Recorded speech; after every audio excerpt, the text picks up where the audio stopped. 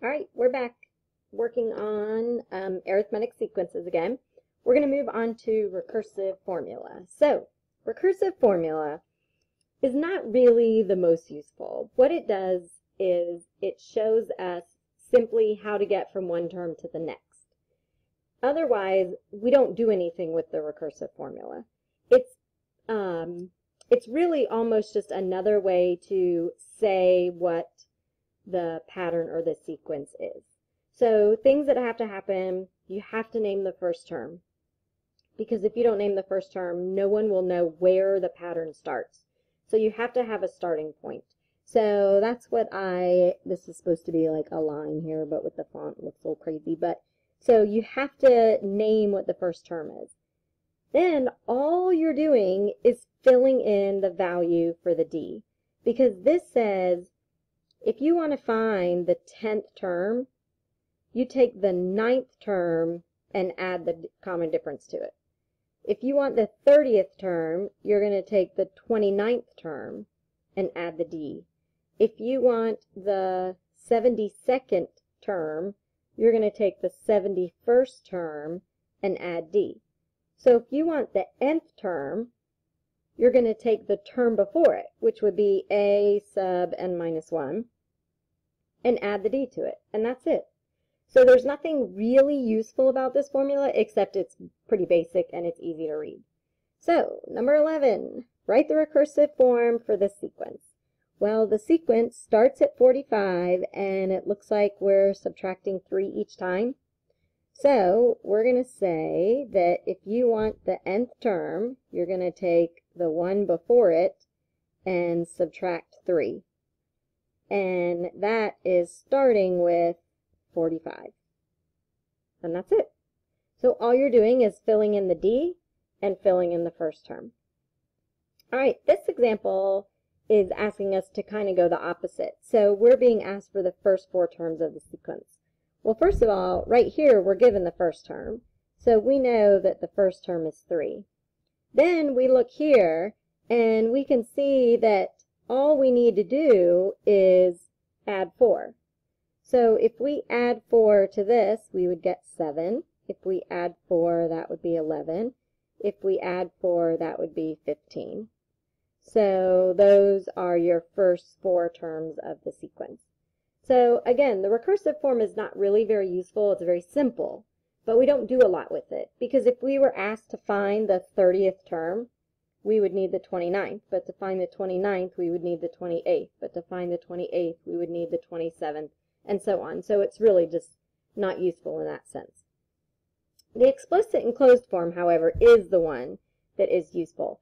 And this ends up being just a linear equation you're going to end up with y equals mx plus b. That's the whole idea, is when you do the explicit or the closed form, that's the same as slope-intercept form. That's all it is. It's the same thing. So actually, I probably should write that.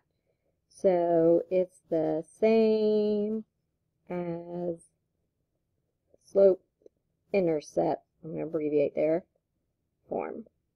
All right, so Explicit or closed form, it doesn't matter. Some people say explicit, some people say closed. As long as you know both, it's not a big deal. But it's the y equals mx plus b. The problem is, is that since we're not really thinking about ordered pairs, we're thinking about our sequence.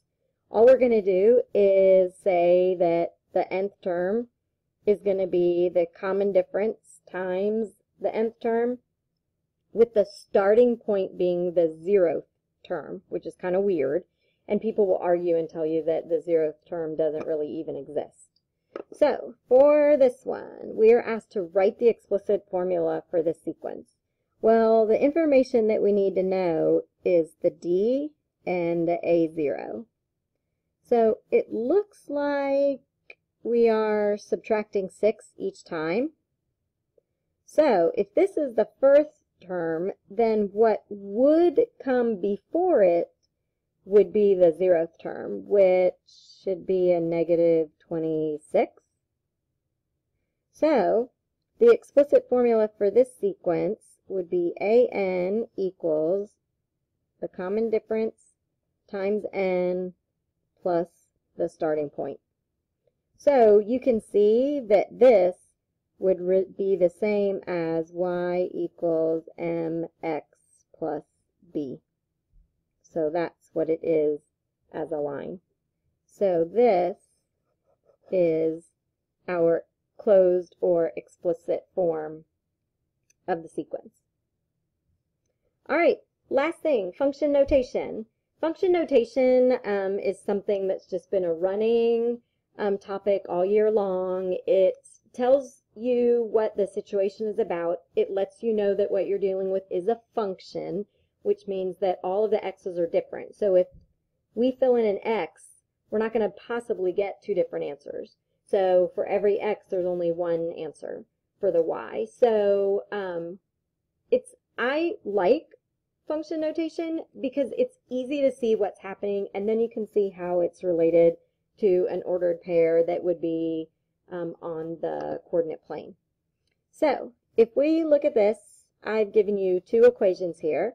We say this as f of x. So f of x is negative x squared minus 5x. And then g of x is 3x minus 10. So what this is saying is the function that where x is the independent variable. So we're starting with the x. We fill in the x. That's your input. And then this answer here, what we get, is going to be the output. So f of x is the same thing as y. So that's why we could say y equals negative x squared minus 5x. Now, the advantage to this is if I had this as y equals and this as y equals, then you can't distinguish between the two, and they are not the same. So that's the whole purpose of the function notation. Because if we had y equals for every single equation out there, then that would be saying that they're all equal to the same thing, they're all equal to y, and that's just not true. All right, this one says g of negative 4. So what that's saying is what is the value of this function if we fill in negative 4? So since this is G, I need to use this one. So this right here tells me to fill in X with a negative 4. So if we work this out, that would be negative 12 minus 10, so negative 22. So what we could say is that g of negative 4 is equal to negative 22. So that says when I filled in x with negative 4, the answer was negative 22, and that right there is your ordered pair. So if you wanted to graph this line, you would have a point at negative 4, negative 22.